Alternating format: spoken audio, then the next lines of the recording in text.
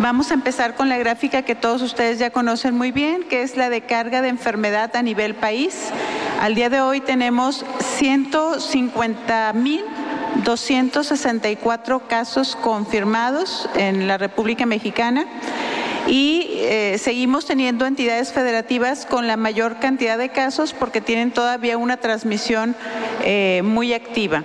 Entre ellos Ciudad de México, eh, eh, Estado de México, Baja California, Veracruz y Sinaloa, que evidentemente también están acumulando el mayor número de defunciones por ser de las que tienen el mayor número de casos, para tener un total de acumulado de defunciones a nivel país de 17.580 hasta el día de hoy.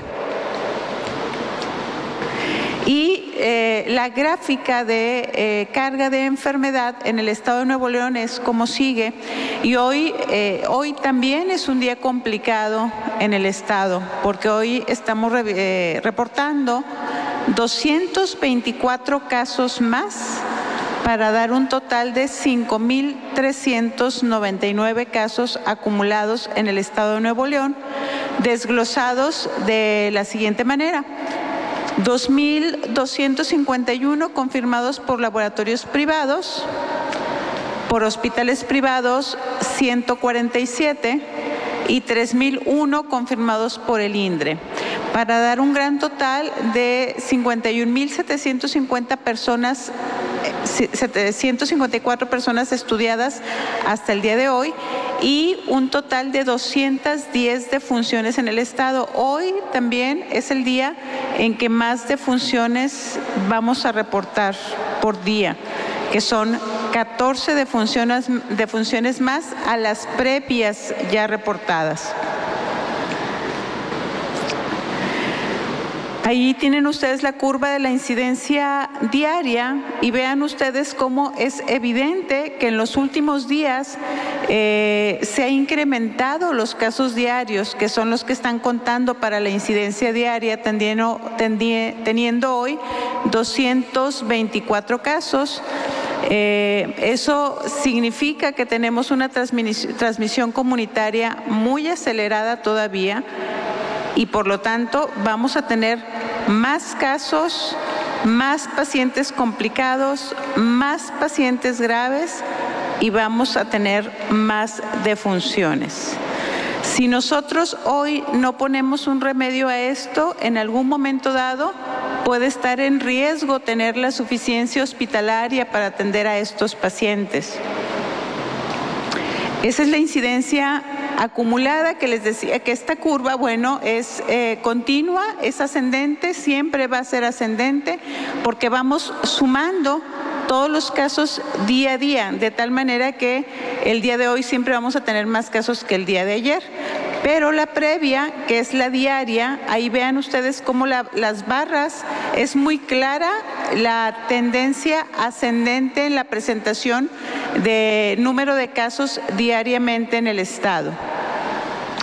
El desglose por casos y defunciones es como sigue. Sigue habiendo un eh, gran impacto en el grupo de 25 a 44 años con 2.510 casos y 22 defunciones. En el grupo de 45 a 59 años, 1.384 casos y 69 defunciones. Y en el de 60 años y más, 690 casos y 118 defunciones. En los grupos eh, de menor edad, eh, no tenemos defunciones hasta el día de hoy. En el 19-24, una defunción. La distribución de personas que han tenido eh, COVID-19 en Nuevo León es como sigue, 55% en personas del género masculino y 45% en personas del género femenino. Distribuidos casi en todos los municipios ya del estado, con una predominancia evidente en los municipios del área metropolitana que tienen mayor densidad poblacional, como Monterrey con 1.341, Guadalupe con 1.002, eh, Apodaca con 652 eh, y la población de asilos sigue manteniéndose estable, Guadalupe con 74, Monterrey con 14 y Santiago con un caso. Vean la gráfica del estatus de tipo de tratamiento, es decir, qué tipo de atención requirió eh, cada paciente. El 24%, el 24 ha requerido atención en una unidad médica hospitalaria. Y fíjense cómo eh, este número ha aumentado gradualmente de estar en un 4, un 5, un 6, un 9, un 11, 15, 18 y ahí estamos hoy en 24% hospitalizado. ¿Esto qué nos habla? Nos habla de la gravedad de los casos que estamos atendiendo y por supuesto nos habla también de que tenemos un incremento de casos. Al día de hoy tenemos 339 hospitalizaciones eh, en confirmados y sospechosos. Perdón.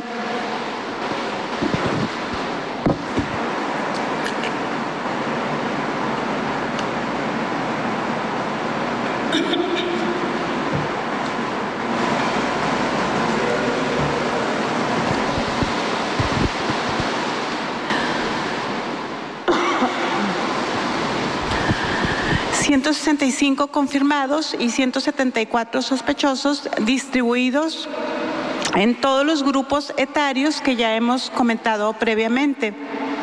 339 hospitalizaciones son muchas hospitalizaciones. Esto se, se, está traduciendo en un gran número de defunciones también, que son las 14 que estamos reflejando el día de hoy.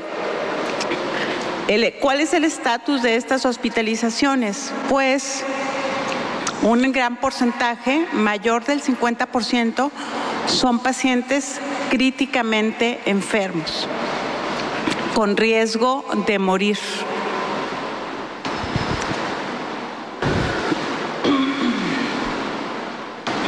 Vean ustedes la curva de eh, hospitalizaciones confirmadas y sospechosas la curva más amarilla son los sospechosos, pero vean cómo la tendencia es ascendente. Los sospechosos quiere decir que tienen una prueba que todavía no está el resultado. Una vez teniendo el resultado, se podrán confirmar o no.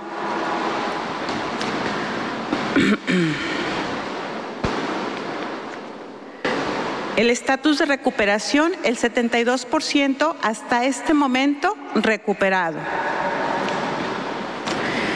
¿Cómo estamos eh, localizados como Estado a nivel país? En el octavo lugar, a nivel eh, estatal, Nuevo León, con 5.399 y a nivel nacional estamos colocados en el lugar número 16. Vean cómo poco a poco vamos ascendiendo en los lugares. Si nosotros no ponemos, no ponemos una solución en este momento, no llevamos a cabo las medidas de prevención, esta cifra se va a incrementar más y nosotros vamos a ir ascendiendo lugares.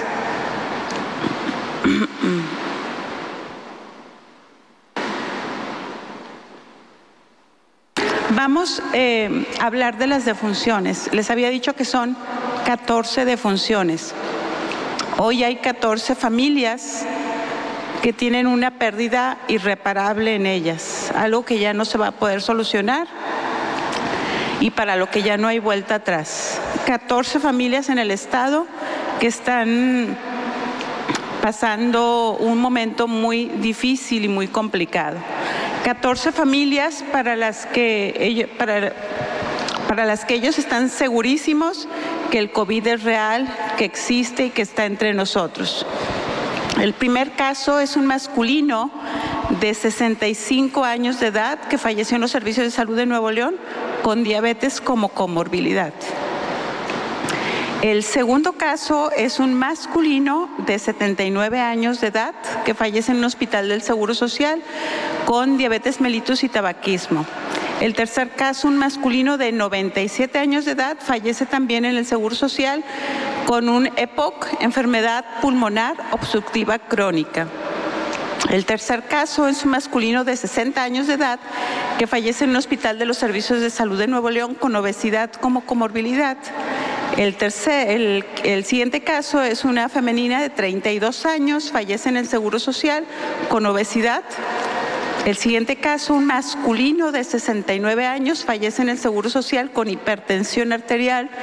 El siguiente, una femenina de 81 años, eh, fallece en el Seguro Social también con hipertensión arterial y diabetes mellitus. El siguiente caso, un masculino de 64 años de edad con cirrosis y obesidad. El siguiente caso, una femenina de 56 años de edad con hipertensión arterial y obesidad.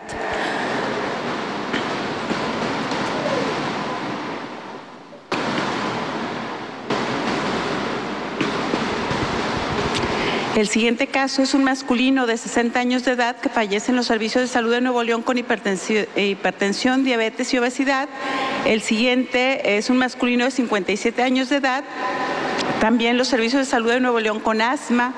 El siguiente, un masculino de 61 años de edad que fallece en los servicios de salud de Nuevo León con hipertensión, diabetes, insuficiencia renal crónica, obesidad.